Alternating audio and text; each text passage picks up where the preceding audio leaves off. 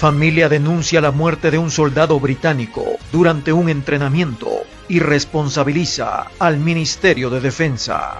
Un hombre perdió el control de su auto y atropelló a dos hermanas en las afueras de un pub en West Bromwich. El Reino Unido recibe advertencias de alerta sanitaria por las altas temperaturas que se avecinan. La exestrella del fútbol inglés Nicky Butt involucrado en un accidente con un motociclista. Aeropuerto de Manchester reanuda vuelos tras el caos de cancelaciones en dos terminales. Embajador de Colombia en el Reino Unido recorre los lugares latinos junto al equipo de Express News.